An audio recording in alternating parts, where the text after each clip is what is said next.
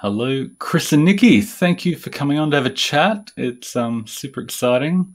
Um, our second husband and wife couple to come on, and uh, yeah, it's so cool to see how people can do it together and make it happen from all walks of life. We're just saying uh, it's it's incredible just who picks this up and it makes sense and they they rock it. So I can't wait to hear your story. So yeah, thanks for having a chat today. Thanks for having us. Yeah, yeah. So you guys are in um, Bega Valley, New South Wales. We're actually in the same time zone, which is so exciting for me. It's usually some crazy thing trying to work out times with other people on the other side of the world. So yeah, um, on a farm, you were saying that's so cool. You so you moved from Sydney to a green, a green uh, tree change to take over a hundred acre farm. It's pretty crazy. It was certainly, uh, yeah, certainly a big, a big step um, you know, coming from a tiny patch of suburbia to uh, chooks and ducks and pigs and and veggie gardens and orchards and you know it's a yeah it was it was a big eye opener. That's so cool. That's, and from a graphic design business background, so you obviously had some technical knowledge that obviously fell into this pretty well because I'll just show the the leaderboard. Um, you you popped up and um, Chris lost twenty four point five pounds, which is like ten point five kilo, which is huge in six weeks, and um, Nicky did incredibly as well. And then in terms of um, fat loss, um, you both did really well, and then the nutrient intake score, you both made it to the leaderboard, which is quite a difficult thing to do, especially for the first time around. And um, yeah, it's just really cool to see you guys just smashing it with amazing nutrient scores and, and what you've done here with filling all in all those harder to find nutrients is incredible. And it's cool that you've done it together. So yeah, just be good to um, talk about that journey. This is your your belt that you shared at the end. Uh, that must be a bit of a milestone to what's your story of, of you know obviously had a, a, life of being a bit bigger and um, yeah. so get, get, a bit skinnier and this was the moment? I think i've had that belt for probably about about 20 years. Um, it was given to me when i was probably at my biggest which was probably around about 160 kilo mark many many years ago. And you know i lost lost a bit of weight for a while um, and trimmed off about yeah, about a foot on, on the on the actual belt uh, quite some time ago, and that those those holes you see that that were already in that picture, they were ones. That's basically where I got down to at my at my lowest before you know before the masterclass, and where the green one is was where I was when I started the masterclass. So I put a bit of weight back on prior to starting yeah. the class, yeah. and that was I think that was a a couple of weeks to go before the end of the masterclass, I needed to put another hole in and only about four days ago, out of necessity, I grabbed a, uh, a, steak knife out of the kitchen and added another one. So it's um yeah it, it's it, and to the to the point where it, the reason it was out of necessity is because I don't have a pair of pants that actually sit on my waist anymore. They just fall down if I don't. So you know, it's not a good look in public. Although you did participate in Naked Gardening Day the other day, I saw on Facebook. Yeah, yeah, but um, you know, there is obviously a little bit of uh, digital editing to uh, to make it uh, to make it not make myself not get arrested. You know. Plus, we don't have neighbours. Yeah. So nobody gets Living on 100 acres is uh, there's there's been times when you when you do something, you know, think about it like. You can do of, of all things, I remember there was a there was a photo one morning. I'd um I, I'd looked out the window and there was a rabbit out there, which I kind of just popped off with the uh, and, and went and collected it in my Crocs and my undies. and it was kind of like Nicky snapped the photo of it, and I went, "Yeah, I wouldn't have done that at the other place. wouldn't have done that in suburban Sydney. That's no, great. Not quite. That's a crack up. Welcome to Australia. That's it.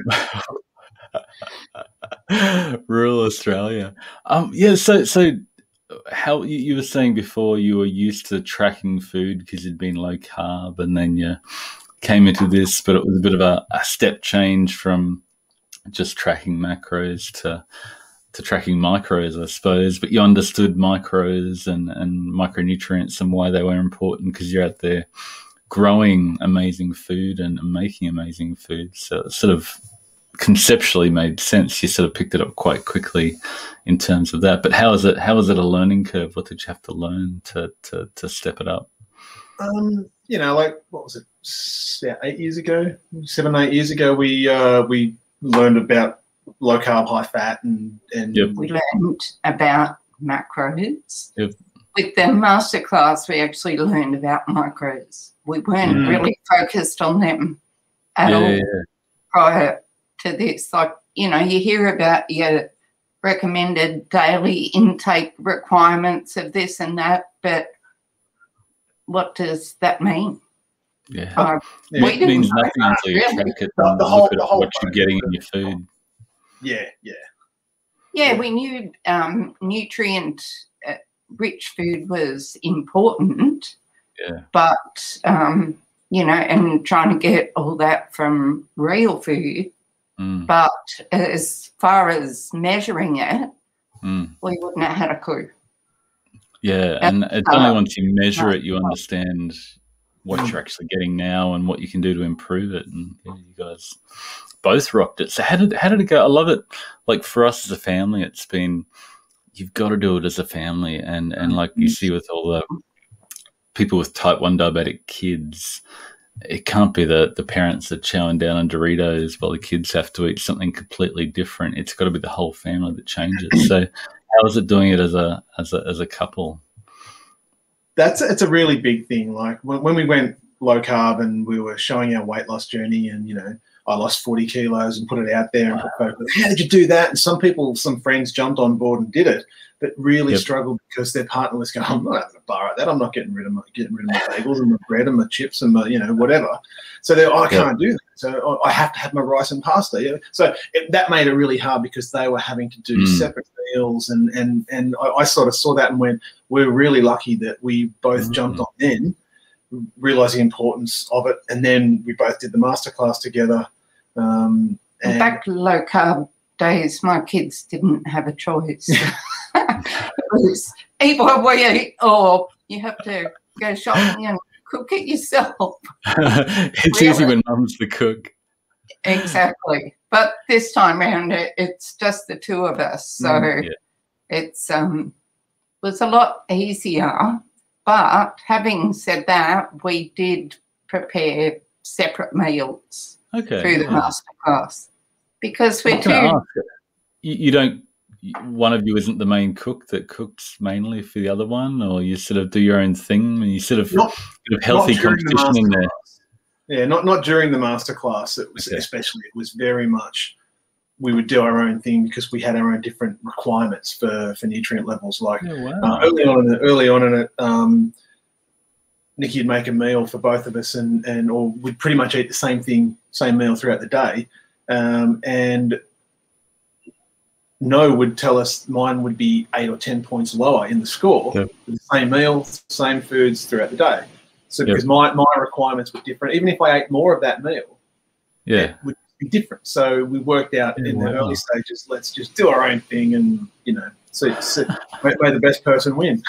Can't believe so was there a bit of healthy?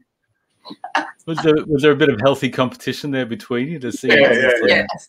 That's great. That's so Definitely. cool. It, it was Yeah, one of those things where it was kind of like, um, you know, we, we'd sit down there after afterwards and go, so what did you get? What did you get? And it's like, uh, damn it, oh, I got to try better tomorrow. but it, it, it got us talking about it. You know, we, we'd share what we did. And uh, one of the biggest questions was kind of like, so what in, in like maybe like a week, uh, a week's worth of this, like, so have you have you found something that's kind of like been a been a really uh, a a big game changer in your in your no scores? And I'm like, well, I, I learned to put. Uh, uh, a lot of my a lot of my veggie stir fries I was putting in um, canned tomatoes because it helped me with the sodium levels and things Yeah. other things as well. And that, that that was a big one for me to step up two or three points, and I, I learned that. But it didn't really that make that much of a difference to Nicky's scores, you know. So the um, the, there was always that healthy competition, um, but in in a very very good way. Yeah, that's cool. Uh, It's it's fascinating how everybody's nutritional prescription is slightly different, and you need to track it for a little while. And we definitely don't. Tracking sucks over the long term for most people, and it can be a negative mind game. But for a short period to track it, to track your food and see what's in it and see what you need to actually optimize your nutrition at a micronutrient level. It's not a balanced diet at a macro level, whatever the hell that means, but it's a micronutrient balanced diet. So it's it's so cool that you know I just love seeing it happen in real life. People that are on the other side of the world or, or a few hours south from me. So this is so cool. Um, yeah. So how did how was it different to low carb? How was the the like a I've come from a low carb keto background and a lot of the people in the group have as well. Um, how did you find the differences from optimizing micronutrients versus just going low carb? And what results did you get that were different? The micronutrients, focusing on that is the is the was the key difference for me. It was we went low carb, we went LCHF. You know, Dr. Andreas Eenfeldt. We sort of learned, learned from him and a few others yep. when we first started, and it was kind of like here's your macro targets. Mm. Get this, stay under this for there. Stay, you know, stay, keep your carbs low, keep your moderate protein, but make sure you get lots and lots of fat and mm. um, keep your protein up. But you know, it wasn't protein centric. Mm. But there was no, we didn't really look at what was going on behind the scenes, what was going on in the engine um, from from a micronutrient level. Um, you know, we we didn't. I, it, was it was open, eye opening for me because going all of a sudden when you're focusing on the micronutrients, not just making sure you get high quality ingredients, it's making sure you're not getting too much of one thing and realizing where you're deficient in another. Mm. And finding that balance was such a, an important thing to, to realize that, okay, um, we were we were low carbing and we were it was a high healthy fat, but like you've said plenty of times, it's it, you do whilst there might not be an essential uh, an essential carbohydrate as such on paper, right. there's so many essential nutrients that are in many of the carbohydrates that you would be limiting yourself by going mm. extremely low keto carbohydrate. Mm. So, mm. and, and that will all of a sudden it was kind of like, well, it's okay to put in some starchy veggies and, and increase those sort of things, especially if you if you're if you're upping your protein level. Um, yeah. And that all of a sudden, we we watched that, that you know those charts that you had up there, and we were watching all those blue lines creep up more across the board from the from the lower. There were the, the ones where we were getting way too much, too much, but uh, a lot of, mm. of one things we were able to sort of dial back a bit and put those into other things by learning what micros were in various foods and discovering liver is, one, one, thing that was it was it was a big thing from getting getting a lot of nutrients that we weren't getting. Um, yeah. And but yeah, just different veggies and and and how to cook them and and how to use them with other things and yeah, that that was my the big difference between uh, a keto LCHF way of, of doing it, where you were mainly focusing on on macros and then actually focusing on your on your micros was a big big game changer.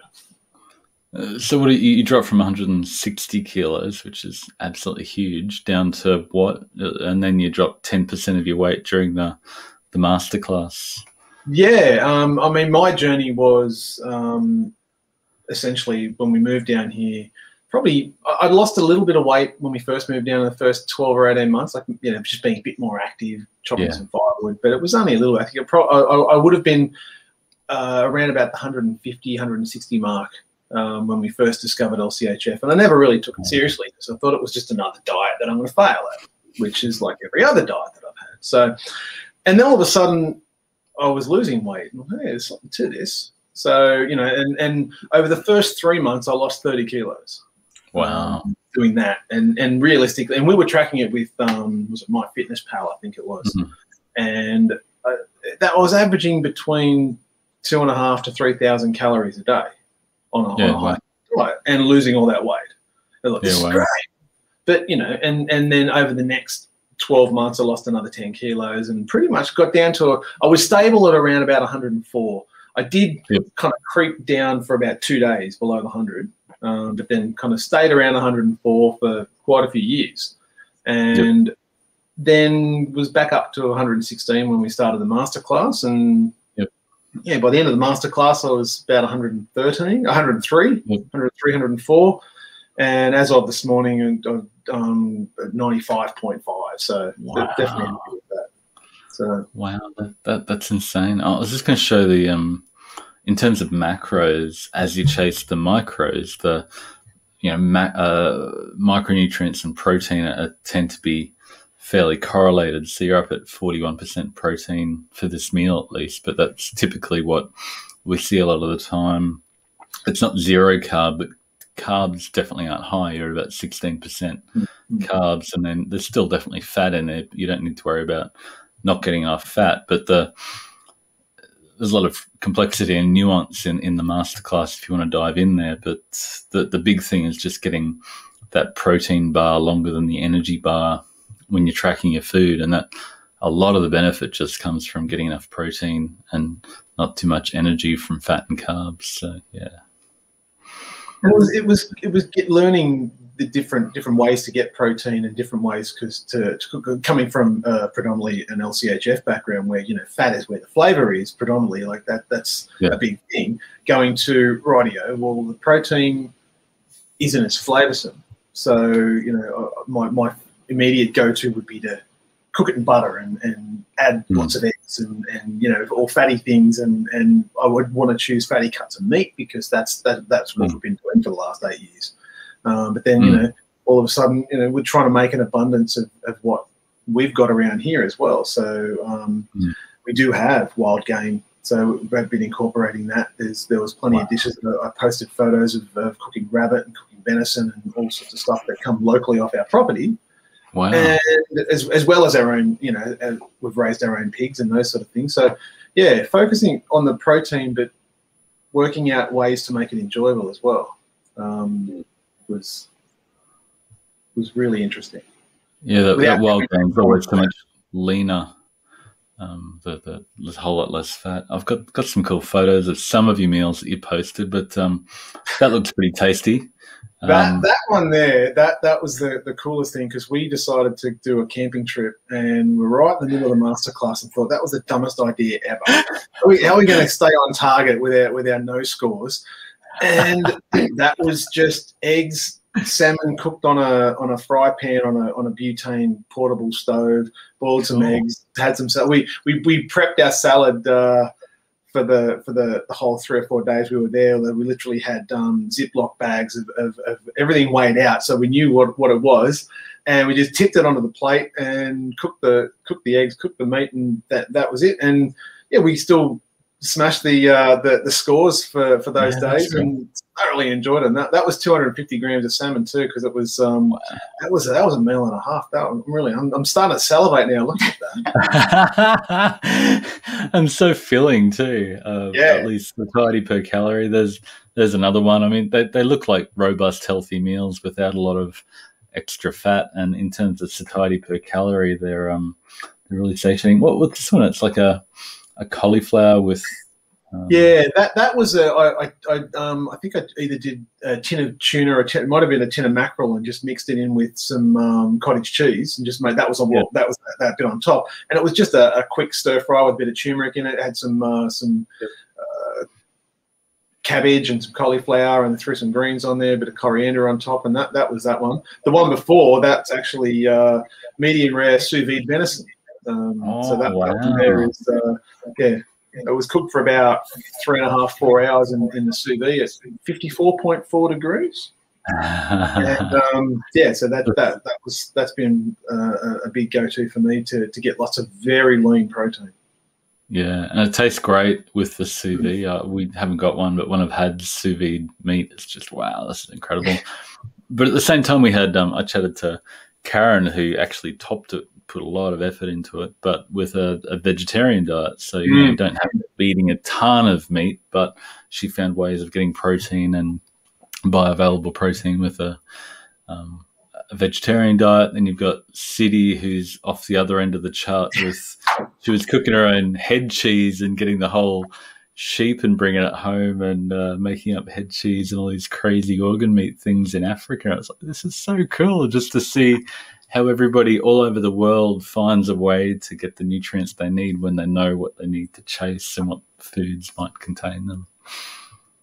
Um, so, did you guys plan ahead? Did you say this is what I'm going to have tomorrow and dial it in, or was like a ha- have a breakfast and lunch and then what am I going to have for dinner that tweaks it, or any any pro tips on planning and just We just really just made sure we had um, most of the different foods here ready.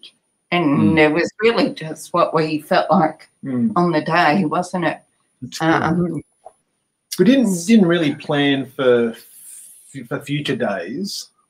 Uh, it was more like at the start of the day. Okay, what's our day going to consist of? Are we going to be here for lunch? Are we going to be? Should we have breakfast now and then plan for dinner? And and yeah, it, it was planned for each day, not Hmm. not any further. yeah, okay, Chris cool. would often sit down and for a long time and map out, try to map out the maximum nutrients per meal.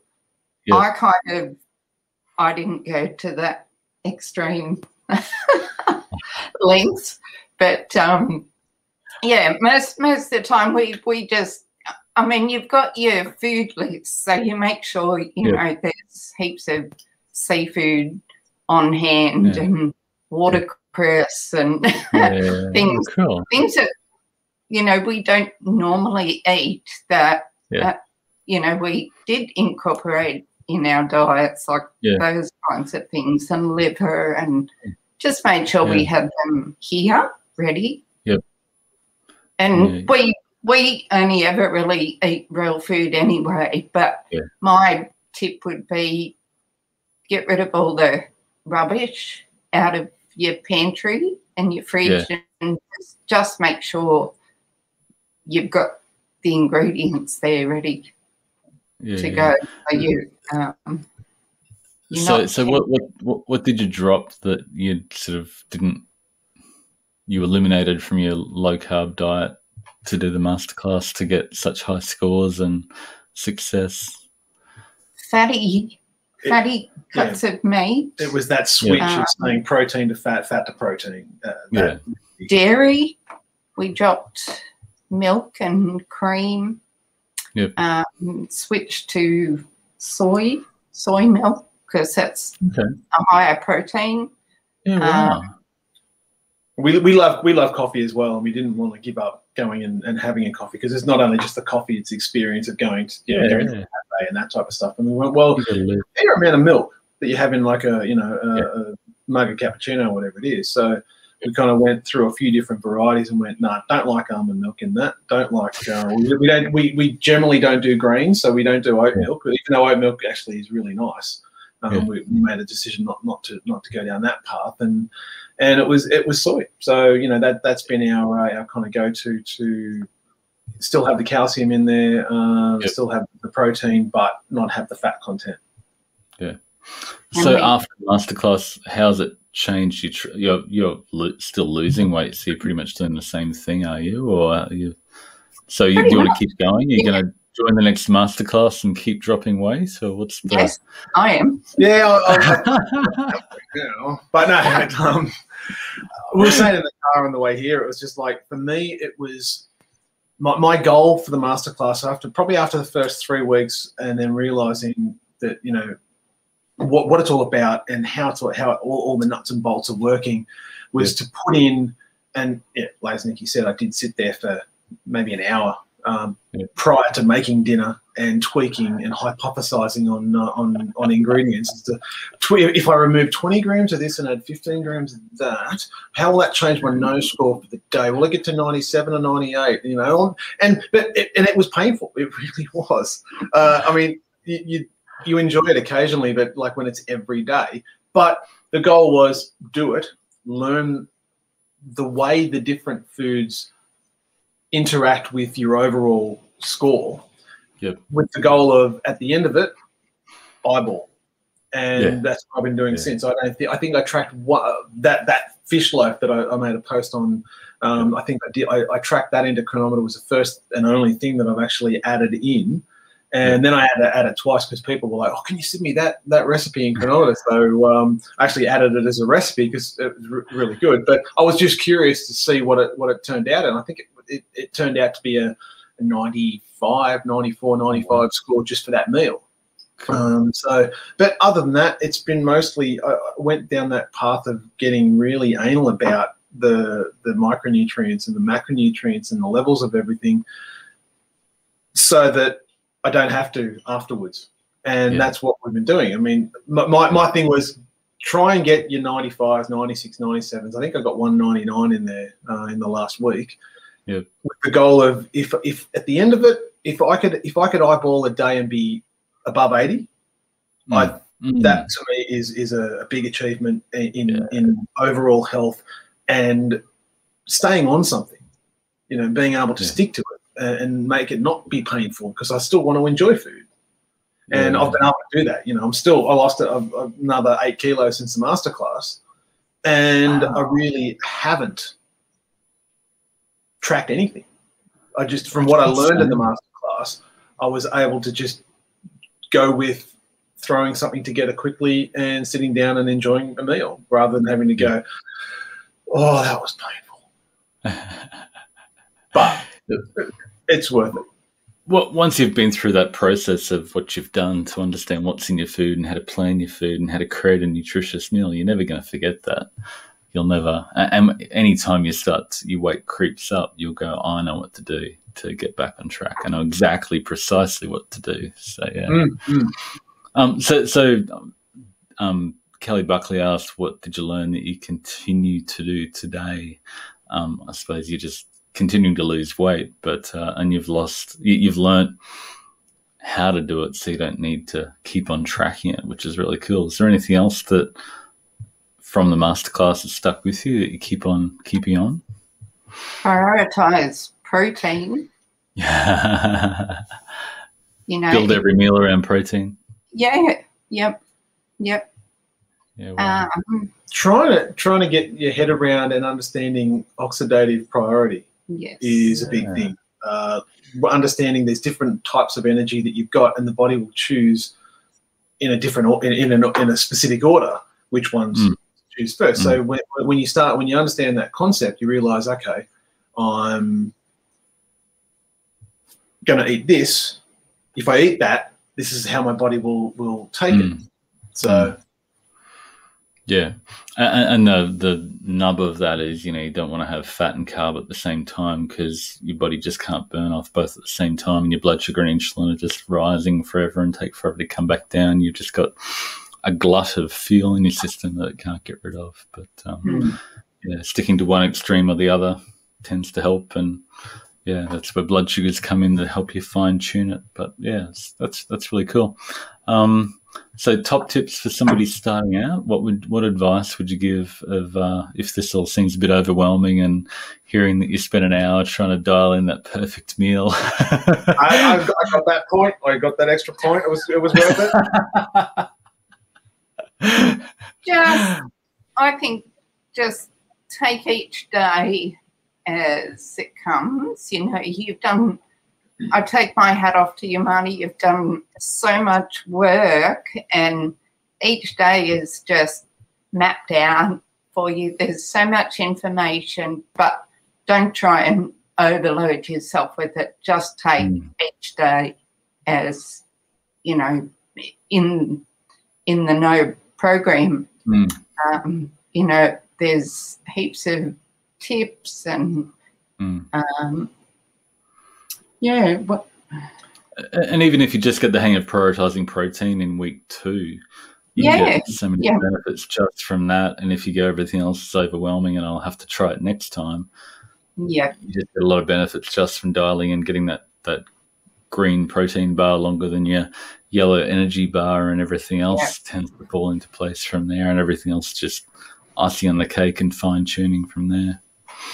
and it's a journey you know Yeah. food life health is a journey don't just try and do it all at once Yeah. Yeah, we want you to uh-huh. learn a whole a whole lot of things that you can then take and apply later and continue to improve and refine and get to a s- sustainable point. Not you don't have to always live it. You can't live it 100% nutrient Yeah. optimizer score Yeah. all the time. But if you hit it, you'll you'll never forget it, and uh, you, you'll take it through. Yeah. Um, I think, I think one of the main things for me would, would be to say to people, open your mind a bit, or a lot, really, um, and look at it. Look at it at. I'm. There's a lot of things that I may think right now based on my past experiences with diets and food and health and weight and everything else. Just take it all in, and not be too. Uh, convinced that you you you've already got the, the, the right answers or whatnot. Just be open to to it, it's such a new concept as well. Like Mm. we, we found that with low carbing as well. People were just like, oh, you can't Mm. do that. That's just not right. But if you if you, if you're more open towards it, I think you, it, it will make it make a lot more sense. But also being changing your mindset to away from thinking about it as a diet. Mm. Um, you know, it's it's not a it's not a thing where you do the master class and then in six weeks' time you go, great, I've lost weight, and then what? You know, most diets are you've got a goal and you reach that and then that's it. Mhm. Thank you, see you later. Whereas when you when you look at nutrition, it's a life thing. It's what changing the way you look at food and the food that you eat forever. Mm. So, and that's what I love about the, the concept of being dietary agnostic. It, you, you don't get told how you eat specifically. Yep. You have your own ethics. Yeah. You can have your own ideas. Yep. Understand the nutrient side of everything and do it your Yeah. way. And it's Yeah. it's that, and then you can continue to do that. Uh, Yeah. So you know, so and Yeah. try new foods. mm, Try those different things Yeah. on the food list. Like watercress. That's I've never had that before in my life. Some of them you might like, some of them you might not, and that's okay. Yeah. You've learnt something new. You might find a new food that you love, and some of the less optimal ones fall off the bottom of the list, and you move on. Um, so, non-scale victories. What? How do you feel? What's different in terms of how you feel before and after this? really good. And a lot of people have commented on how well we both look. mm, mm. Um, just feel really good.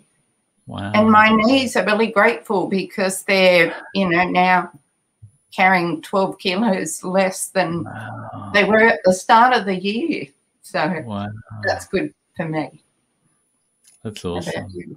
Yeah, I mean, it, it kind of feels like a bit of a scale victory in a way. It's sort of all about weight loss, but being able to just find clothes in the cupboard that I've pushed to the back because I don't fit into them anymore, that I'm now all of a sudden fitting into, and to the point where I'm like, "Hmm, this actually feels a little big for me now. You know, and it, it's nice to pull out the, the those types of things, putting another notch in your belt. Um, Yeah. a second, a second notch in your belt, and things like that. And yeah, and and have, having people notice it that, Yeah. and not just the weight loss, but your general, your aura, your your color, your your Mm.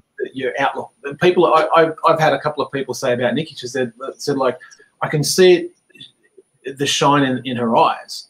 You know Mm. that that spark, that brightness that people that people notice just as much as someone says, "Oh, have you lost weight?" They're actually Mm. noticing uh, a, a change in the, in things like that, like your skin tone and, and and the sparkle in your eye and those sort of things, which is something you can't get from stepping on a scale. Mm. Yeah, you can lose weight eating the same crappy food and you'll be ragingly hungry and you'll feel low energy and just want to binge on the donuts as soon as that challenge is over. But if you turn it into giving your body what it needs to thrive, it's a whole different perspective on nutrition and diet. And it's just, yeah, I just love seeing it happen in real life people. Um, it's really cool. Yeah. So, um, t- tell us about I'm I'm really passionate about regenerative agriculture and just nutrient dense food and you're growing it. What are you doing to to nourish your body rather than other than just, you know, buying spinach from the supermarket? The the food you get from your farm that you grow or your neighbors grow must taste completely different to what you might get in a in a frozen packet or something. Tell us about that. Mm, definitely. Um, to eat seasonally is just, there's so much more flavour Mm, in food that's that's fresh. You know, Mm. it's, it's actually fresh food. Mm. Um, and yeah, you know, we we follow we live like a permaculture style life. Mm. Um, so you know, we have animals in Mm. our system. Mm. Um, seasonal and local. Um, Yeah. And and knowing, not you don't have to grow it all yourself. You know, if if Mm. you've got people that are out there that grow food, you, getting to know your know your growers as well. You know, knowing their practices, knowing what they do, Mm. um, rather than yeah, just going to the supermarket and grabbing some uh, a trolley full of veg. You, you Mm. you're much more connected to your food Mm. by either growing it yourself as much as you can. You can't grow everything, and even even you and you and your neighbours can't grow everything. And if you live in suburbia, everyone could go out and buy a book called Retro Suburbia and do a permaculture lifestyle on the balcony, which is a great book if anybody wants to buy it. And I'm not, I'm not on commission, so uh, that's that's all good. But um, it's a great it's a great book to, to learn about how to do permaculture on a small scale in in Yep. small houses and balconies and that type of stuff as well. But you can't do it all. But if you can do it more so where you can, go to farmers market, go to your local farmers markets, and get to know the people that are growing. That uh, you know they might they might have a property that might be twenty or thirty k's away from where you are, which is much less food miles than Mm. the, the, stuff that's trucked into the supermarket that's probably Mm. come from next door, gone up to a depot in Brisbane, down to Tasmania, then back up to a depot in Sydney to be delivered. And it's Um, three weeks old and tastes yeah, dead. yeah. And and yeah, that the the apples that have that have had a, a chemical spray to to uh, to make it make them store longer and and all these types of things, you know. Yeah. So if, if you if you get to know those types of things and how they're grown and make make quality food important to you, it, it really makes a difference to the nutrients you get in, in Yeah. the in the in the long run.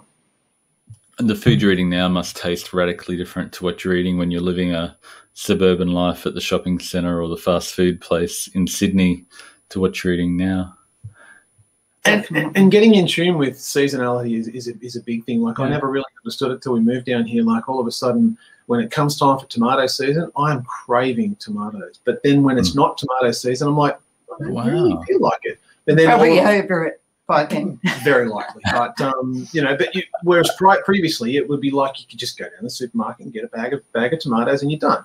And then all of a Yeah. sudden winter comes along and your brassicas are in, so you got uh, cauliflower, you got all those types of winter veg, and I'm just craving those. And then when you know, and, and when certain fruits are on, so you know, citrus comes in at different times of year to when the stone fruits come in, different types of year to when the apples come in, and you know, all those types of things. So getting in tune with seasonality and being able to understand how that interacts with your nutrient intake as well. Mm. Like um, what I, what I, I'm looking forward to the next 12 months is eating this way, but picking the foods that I'll put into a, into a dish based on Mm.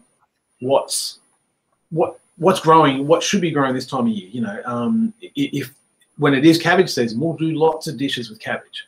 Um, when, when it is when it is broccoli and brassica season, we'll do that. You know, when it when it is when it is in in spring and there's lots of leafy greens, we'll do lots of leafy green dishes and salads and and luckily tomatoes and, and cucumbers down here, probably everywhere else as well, tend to come on at the same time, which are great to do salads with the greens. So going seasonally makes it makes a big difference and learning how to pick not just your optimal 30, but your optimal 30 when they're optimally needed needing to be grown.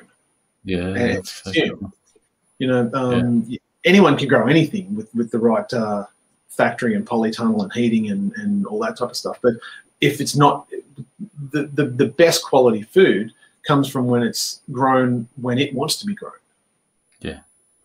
Yeah, uh, and I've got this like at the moment, food is controlled by six or nine companies that are, you know, everything's fueled off fossil fuel fertilizers grown in large monocrop situations, and like you said, trucked across the world and sent to Thailand to be packed and sent to Sweden and then sent back to Australia or whatever. It's just crazy the amount of food miles it's traveling and how dead that food is by the time it gets to you and how the nutrients are depleted, so they have to try and fortify it, and it just doesn't taste alive anymore. But if you get people not just chasing the foods that contain more nutrients, but the foods that are locally grown in season and taste amazing because they actually contain those nutrients right now. Like you said, they're fresh, they're amazing, and even better if if they're local and they're not part of this massive agribusiness sort of setup that they'll be regenerating the earth when you mix plants and animals together that they'll actually regenerate the earth rather than you know deplete and and and, and um, you know take everything out of the earth. And, and it'll be a better place to live in 100 years rather than just continuing to suck all the nutrition and the, and the life out of our planet for us to live. It'll you know we can we can invest in a way that of eating that will help us to grow the planet back to life sort of thing and re- reverse what we've done in the last 50 years. So yeah what you guys are doing is amazing living on a, a farm to, to grow that food yourself and and you're thriving. So it's, it's so exciting. Cool. Anything else you guys would like to leave everybody with? Thank you so much for doing this. Any any w- final words of wisdom from chris and nicky oh, That pretty much covers most of it. um, yeah, Just eat real food. yeah. Yeah. And, and en- enjoy food that tastes amazing naturally because it is good for you. So, yeah, and you'll Yeah. love it and you'll Have thrive. fun with Yeah, cool. Just fun. Okay. Don't make it a chore. Yeah.